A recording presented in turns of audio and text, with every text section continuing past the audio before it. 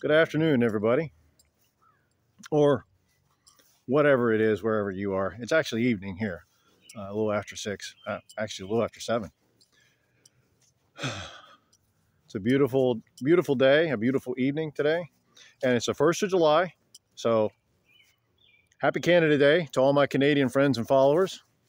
Hope you had a great day today. Enjoy your fireworks. If uh, I think you do fireworks on Canada Day. Anyway, um, just wanted to summarize my June goals. I made my goals. I, I set a goal at the beginning of the month to average 40 pull-ups a day and average 100 push-ups a day. And I hit my goal with a little bit over. I had a few extra pull-ups and a few extra push-ups as of yesterday afternoon when I finished up. So I guess yay me. But the point I was trying to make in doing that is set a goal and work for it.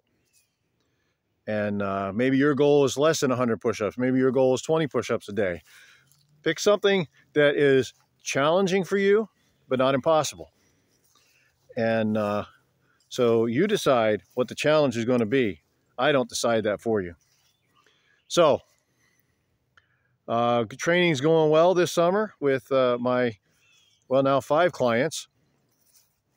I have uh, three student athletes from uh, one family and two other student athletes that I'm training. Two are getting ready for football and three are getting ready for soccer.